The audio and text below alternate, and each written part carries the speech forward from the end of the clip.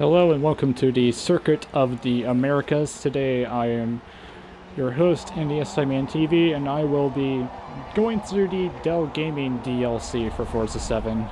As per usual, there are seven special vehicles that they added into this game, and seven new vehicles, and no additional vehicles this time around. I think you'll actually like this DLC. If you've been thinking the previous ones were more disappointing, you'll think this one's probably the best one to buy. If you're just buying individual content updates. This first vehicle is an Aston Martin race car, as you can see here. It's actually a new vehicle. It's, it is the, a new Aston Martin race car. It's not like an old one re-added into the game or anything. To prove it again, yeah, this is a V12 Vantage, not a DBR9.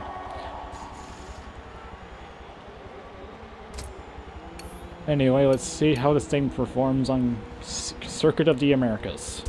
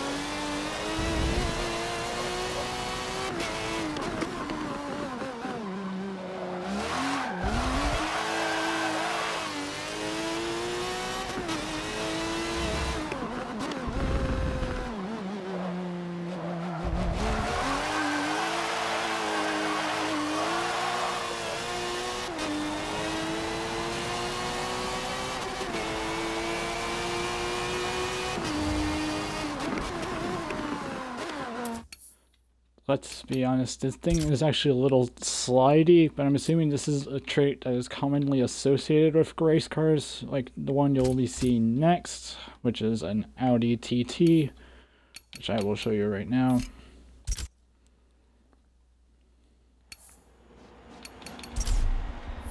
Unless there's something before, it. no, Audi is right next to it, right, right here.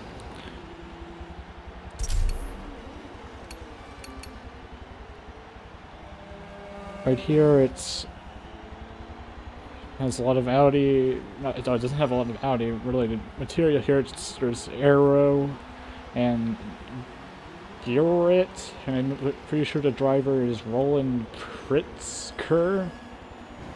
Looks like. And fade out so I can see what's in here. Vacation for the TT. Let's see how well it performs though.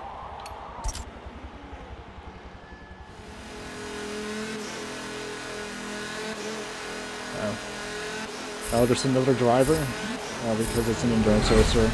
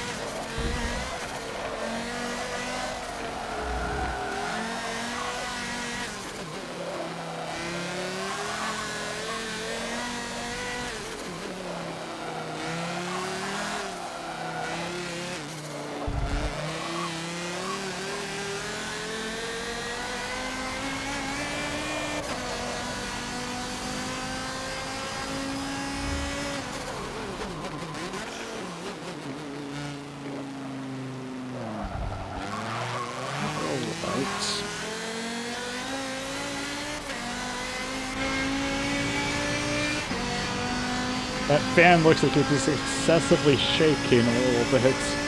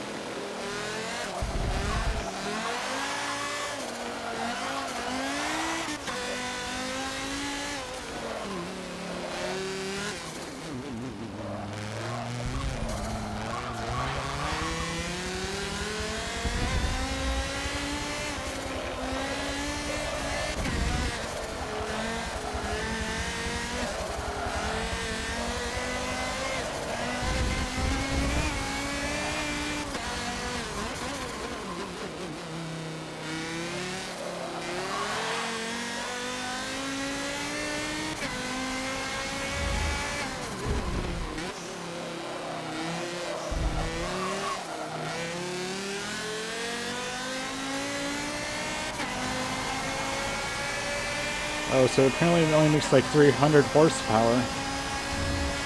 About 380? That, that probably explains why it handles a lot better than its than the the other one I just played around with, the Aston Martin. But I think there's one reason why anyone with a brain wants to try this DLC. So let me load this up. That is right. This is a Bugatti Chiron. The, the little definition of a modern supercar. With literally over 1400 horsepower, which means it's more than the twin mill from Forza Horizon 3. It's also more than the Koenigsegg 1 to 1. This is insane.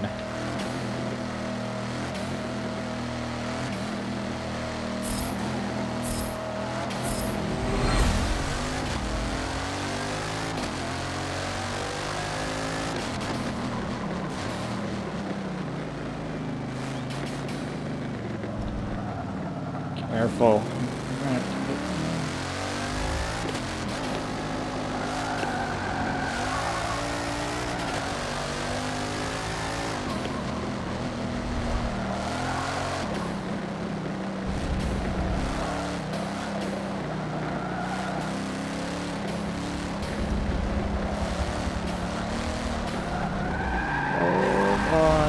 god. Okay, there we go. We landed in a safe zone. We landed in a safe zone with the Chiron. This thing is is legal and it's really, really fast. Just look at this acceleration.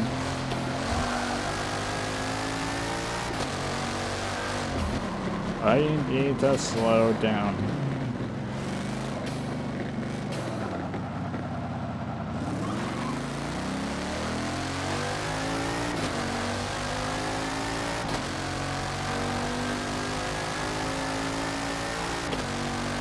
This is the top speed testing area. Not really. I have to really slow down with this. But I did really good for a first real run with this. Oh my god, yeah. Don't be in first gear with this. Fair warning, if you don't have traction control on, don't be in first gear all the time.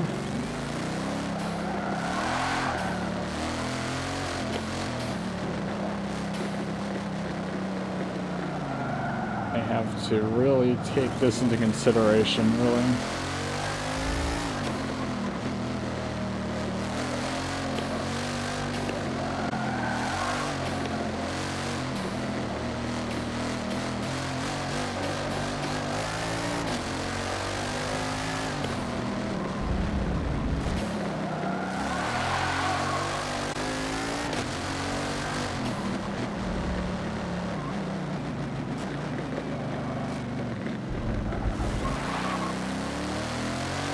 And we're just gonna shoot this bullet again. And about 150 miles an hour, this thing retracts.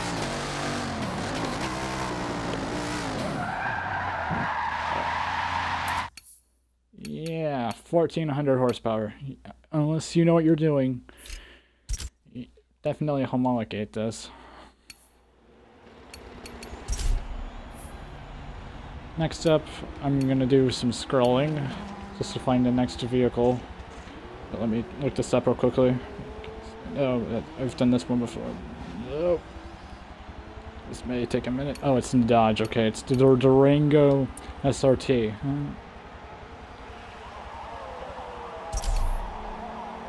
A lot of people were questioning whether this would be in the game or not. Yes, this new Durango SRT model is in the game.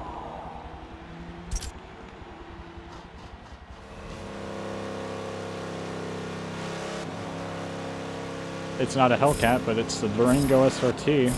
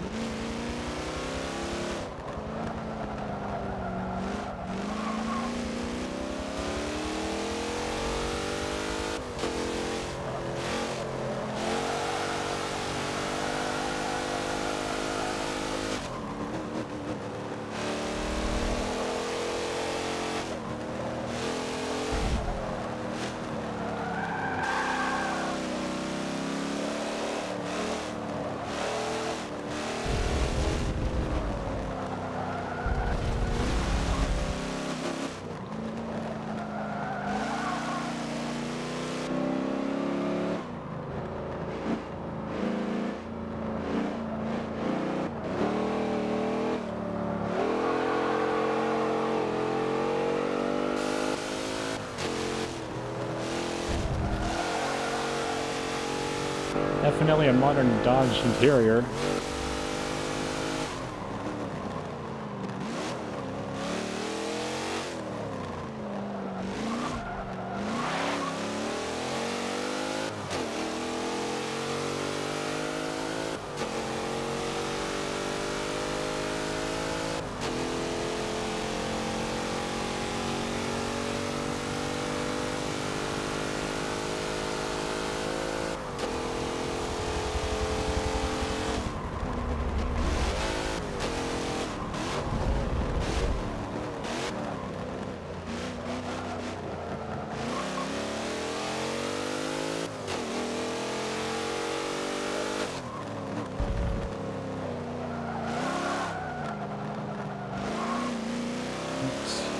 Slower than the Chiron. It's a lot more usable. Then again, it's a giant boat, so you kind of expect handling to be more like a giant boat with these things.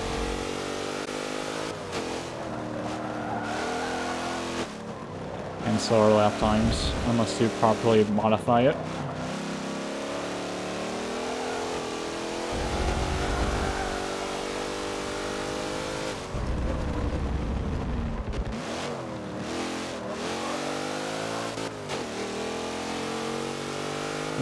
Yeah, there's no horn. Am I doing?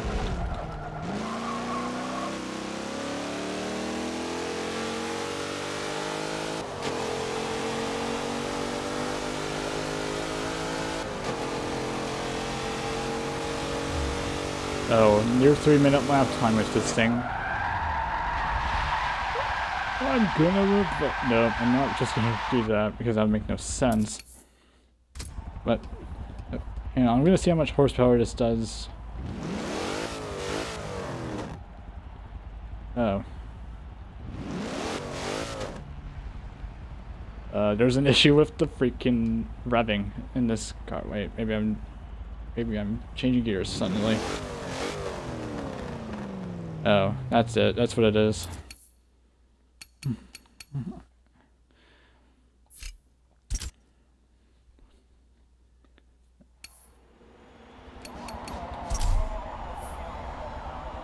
I think the next car we're going to be looking at is Holden, because, well, it's been a while since we talked about Australian vehicles, but hey, it's time, it's better time than ever to look into the Australian vehicle market, so let's look at the, and a very old Holden Monaro, well before a certain Holden Monaro appeared in Forza, I guess. This is an older GTS model.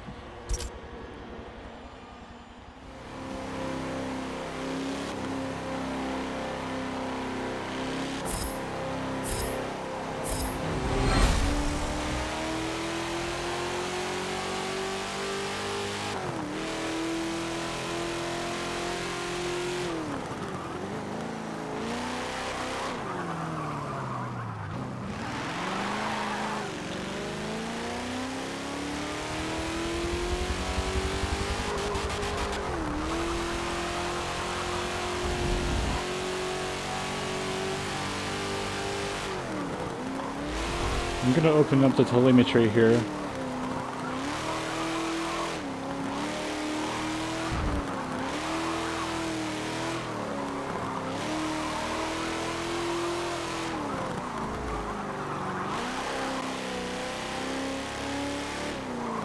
Oh my god, I almost forgot that that corner existed because I was staring at the left side of my screen.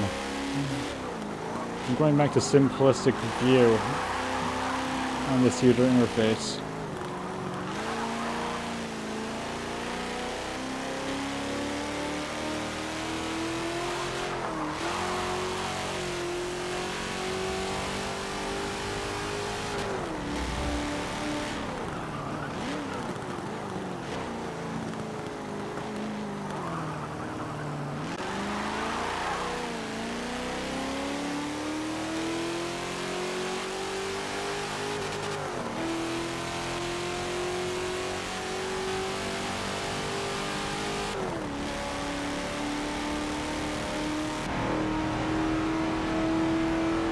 This thing wasn't designed to be fast. It looks like.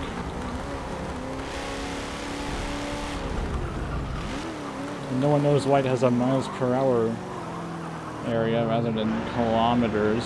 Just look at this.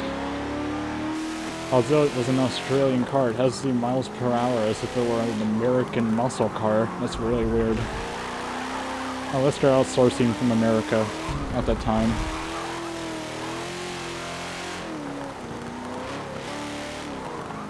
Since Holden was GM, I mean, I don't see how that would not be possible.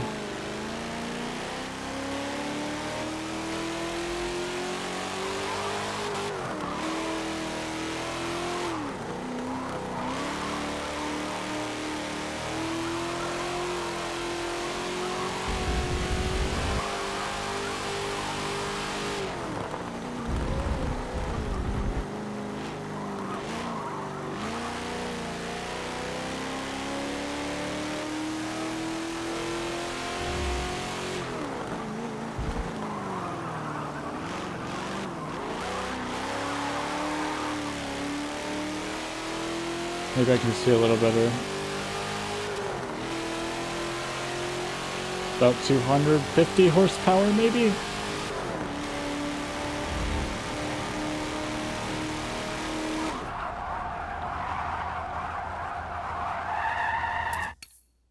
Yeah, I think I'm done with this Holden. Next car will probably be Kia, the Kia Stinger, because, well, it's a vehicle that everyone wants to see. Uh, it's very similar to everything else in this list. We've talked about this before, we've seen this before. No.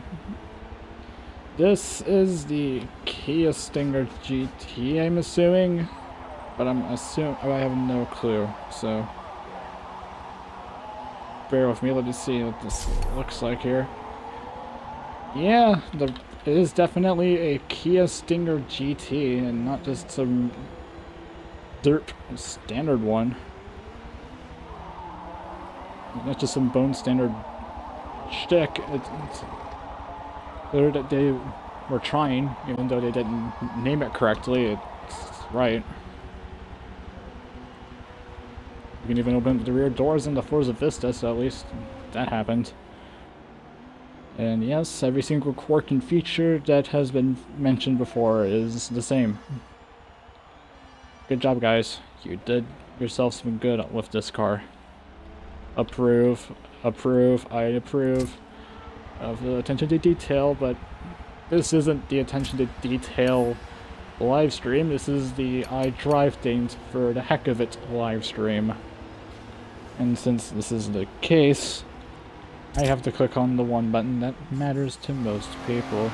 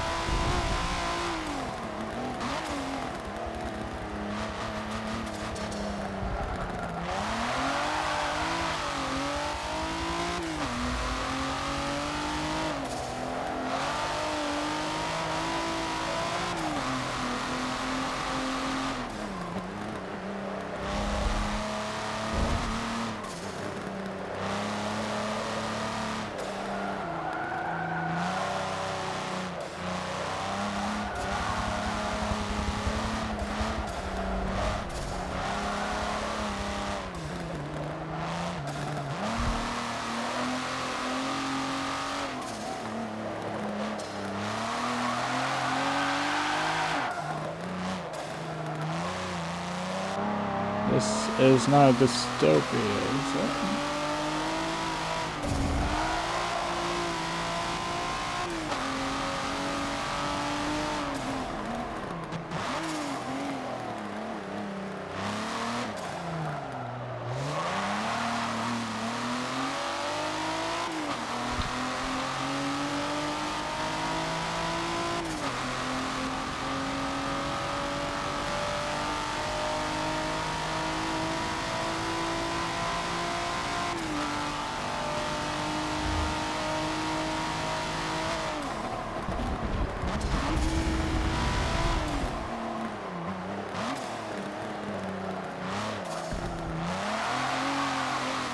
is this the first racing game with a fully modeled Kia Stinger? I would be quite curious to know that. I'm pretty sure the Chiron has appeared in other games, but I'm not sure about the Stinger.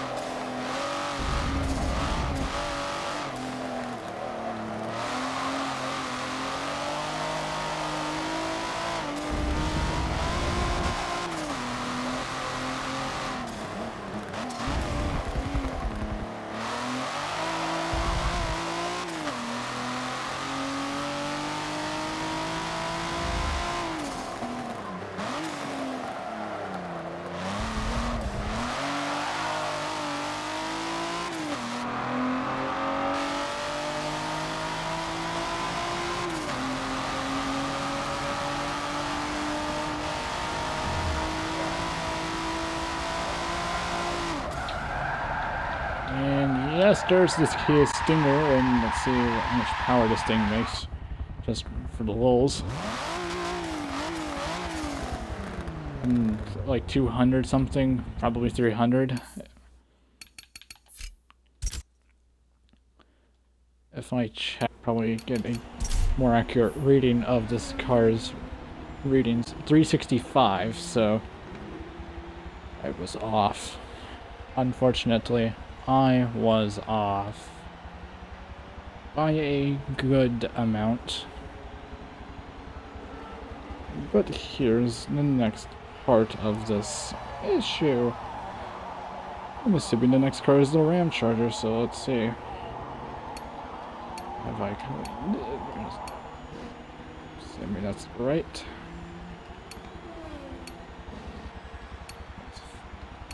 Let's waste a time here. There is no Porsche, no new Porsche models in this update, from what I can speak of.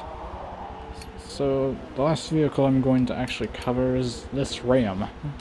Sure, we've had this thing in the game for a while, but now you get a four-year upgraded version that looks like an actual Ram with 410 horsepower. This old Ram has 546 for comparison's sake. I'm assuming it probably won't be that powerful despite the amount of power it actually does have, but in terms of, talking about in terms of acceleration and top speed, not in terms of horsepower, of course.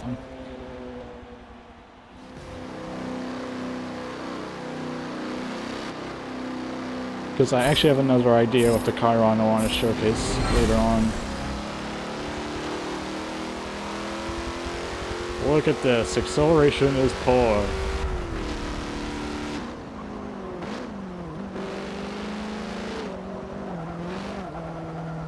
This is a ram.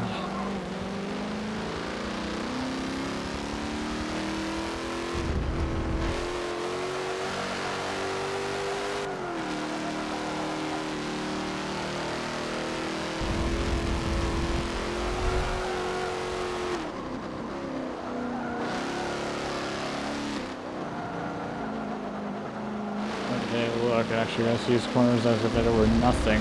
Every other car would slide. So I guess the Power Wagon is something in its favor.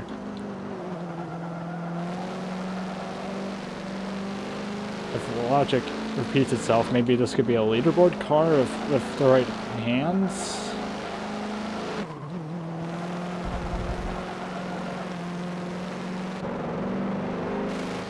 And again, it's a ram.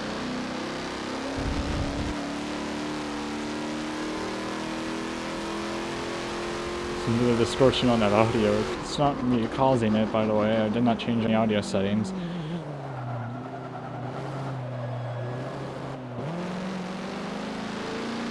I'm going to shift down a little bit just to get more speed here.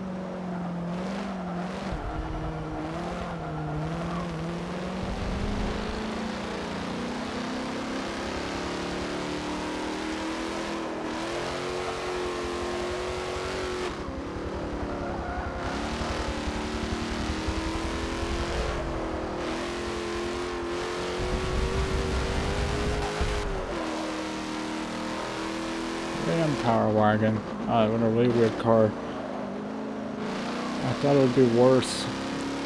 Sure, it's making a near making a three minute lap time, but it's the slowest thing here. I'm assuming. Oh, it's probably quicker than Monaro with the proper upgrades. I don't know. It already has 400 horsepower at its disposal.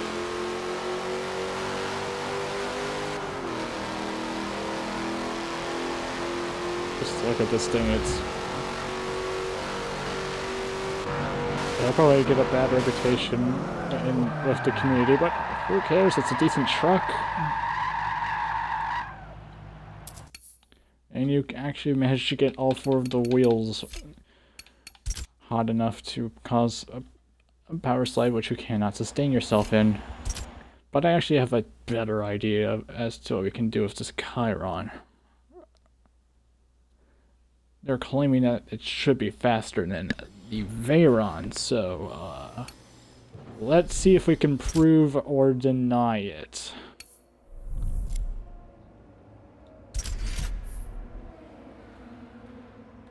I uh, I almost forgot that there was a starting grid tab, but I guess I'll have to look at it once I get out of the menu here to select the Chiron again. I know I'm going back to the Chiron, but I wanted to test something here. This isn't stock, by the way. And yeah, so you apparently get the freaking starting grid even if you're the only person in the freaking race. How silly is this? But I'm going to go to a track that we all know can be a well-known race track for it. Doing your things. Your, your top speed testing. And, oh, well, no, we don't want freaking upgrades. We want to be able to use the car as it is. And so we're going to have to load into the track because I think the Chiron had a worse time with COTA, but I think maybe it would do a better time here. So let's test this theory. I'm not going to do a full lap, I'm just going to test something.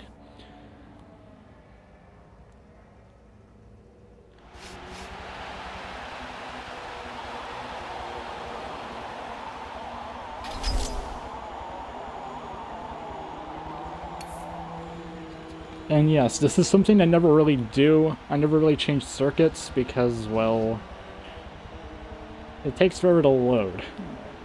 Here's, yeah, the reason why I never changed tr tracks during my live streams for Forza 7 specifically is because I, I hate having to change the track just to get to where I need to be.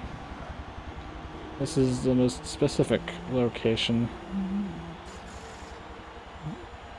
That I chose because, well, here you go, it's La Sarthe. And, well, you can do everything at La Sarthe.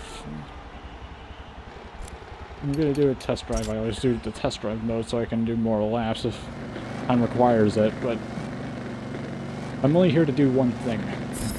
So let's see how well this does.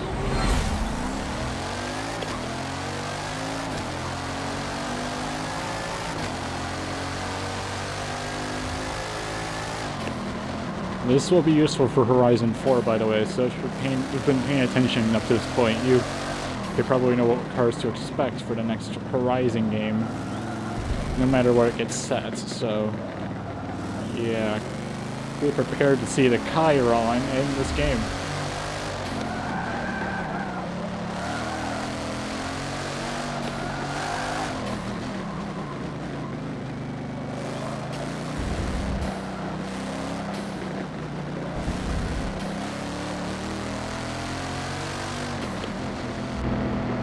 Okay, so we're about to go into um, the street.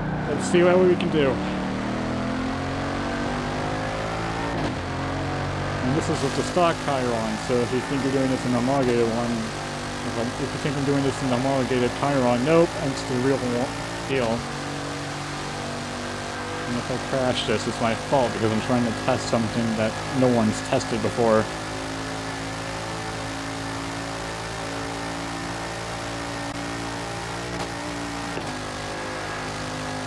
Yeah, we've already hit original Veyron and Ultimate Aero territory. Let's see how... Oh, now we're coasting. Now we're smoking. Not, not coasting, smoking. Oh, we've, we've hit 267.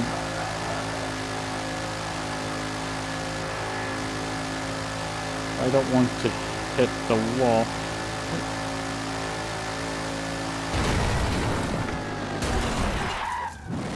Okay, I'm gonna go backwards now.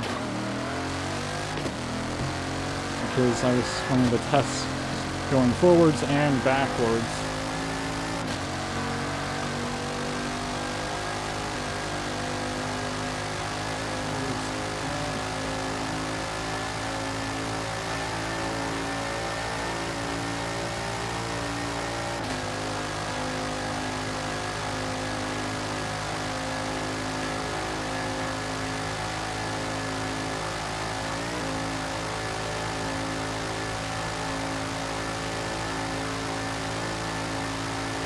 We're 268 now? I see how it is. 269. Oh my god, we made 269. Oh.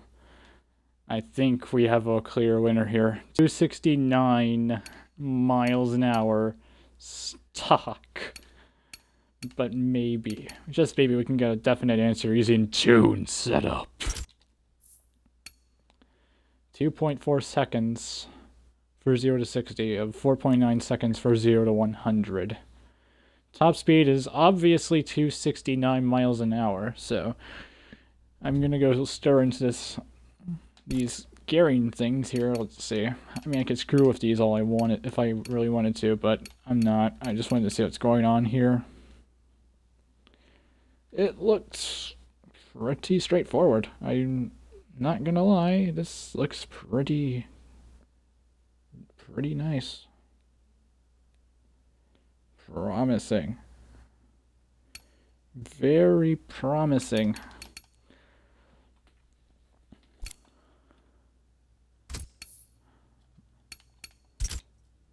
And yeah, this is what I just did. I managed to crash here. And I think all the crash did to the car was add a but no, wait, hang on, what did it do? It looks like I did literally nothing to the car. In fact, if I let this actually finish out, I could probably let the...